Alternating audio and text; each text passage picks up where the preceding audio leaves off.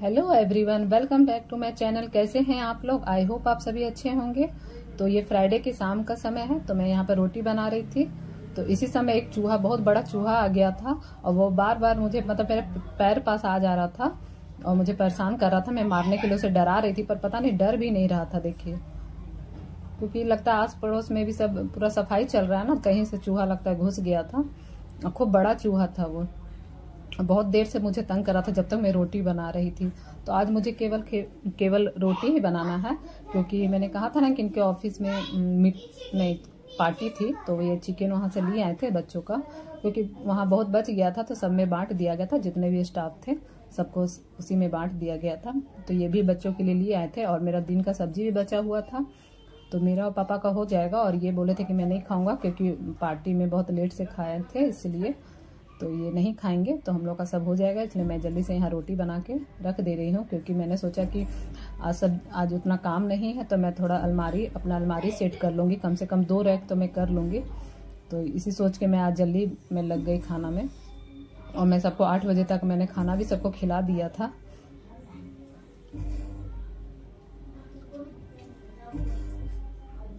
तो ये देखिए तो ये देखिए मैं बस ये दो ही खंड करूँगी, ज़्यादा नहीं करूँगी, फिर अगले दिन में करूँगी। जैसे जैसे मौका मिलेगा, अभी समय है। तो यहाँ पर पूरा मेरा साड़ी वाला पूरा ख़राब हो चुका था, एकदम दुर्गा पूजा मैंने बताया था ना कि पूरा एकदम ख़राब हो चुका था। हालाँकि मैंने बीच में अपना रैक ठीक किया था पर ये दुर्गा पूजा में साड़ी निकालने उकालने के कारण ये सारा पूरा उथल पुथल हो गया था। तो मैं अभी समय बचा हुआ था सोने का समय नहीं था तो मैं साथ के साथ टीवी भी देख रही हूँ। बच्चे सब सब पलंग पर बैठे हुए हैं मैं टीवी भी देख रही हूँ और अपना ये काम भी करते जा रही हूँ। पता नहीं अलमारी के अंदर भी डस्ट कैसे चला जाता है पूरा डस्ट हो, हो रखा था किनारे किनारे से। तो मैं कुछ सामान भी देख रही थी तो ये मैंने मंगलसूत्र मंगाया था मीशो से। जो कॉम्बो नहीं आता पाँच का सेट तो वही मैंने मंगाया था, जिसमें से मैंने दो पहना था। काफ़ी अच्छा निकला, कलर वलर नहीं गया था। मैंने एक महीना पूरा पहना था बदल कर और ये मैं पर्स में देख रही थी, मुझसे खुला ही नहीं, ये पार्टी वेयर पर्स है। तो ये काफ़ी बहुत प्यारा है, उतना दिख नहीं रहा है, पर बहुत सुंदर है ये पर्स। ये मेरी बहन की बेटी ने दिया था, रिया भांजी ने दिया था।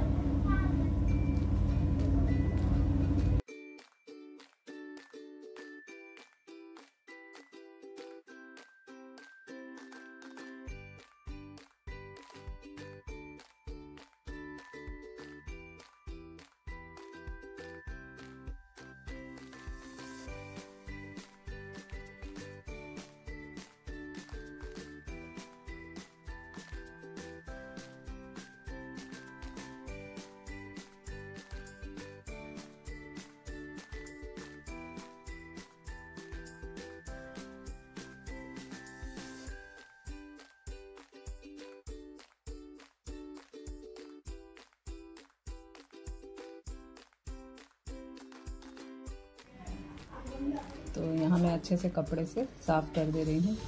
तो यहाँ बीच बीच में टीवी देखने लग रही थी ये देखिए मैंने सारा क्लीन कर लिया है। पूरा अच्छे से सेट कर लिया है ये दो दो रैक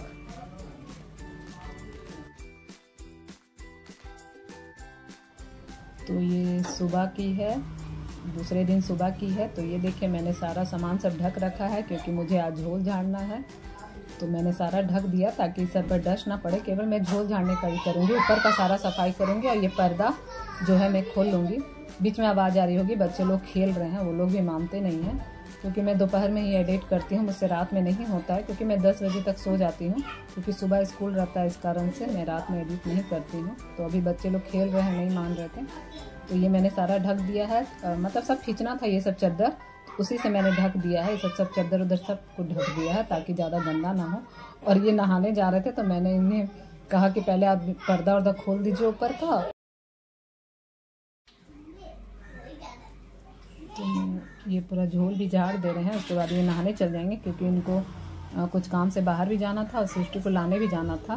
तो मैंने कहा कि नहाने से पहले ये सब कर दीजिए क्योंकि ऊपर का काम है ना तो यही कर सकते हैं, ये सब टेबल, बड़ा टेबल लगा के।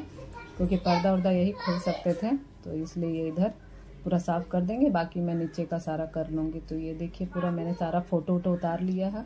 ये सब पोच पोच के मैं सारा लगाऊँगी। तो तो इधर मेरा किचन का भी सारा काम हो गया है, तभी मैं उधर लगूँगी। तो ये देखिए, मैंने कद्दू की सब्ज़ी बनाई है और भिंडी बनाया था मैंने।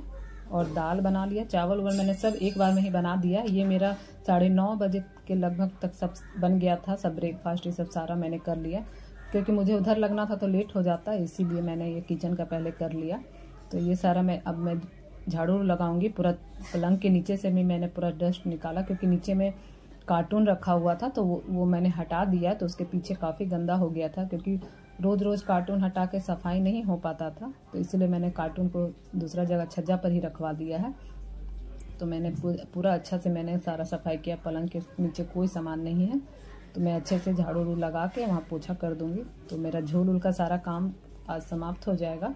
बाकी ये सब मैं धीरे धीरे करती रहूँगी, इनका ऑफ़िस भी रहेगा तो मैं सुबह अपना ये सब करते रहूँगी इनके जाने के बाद।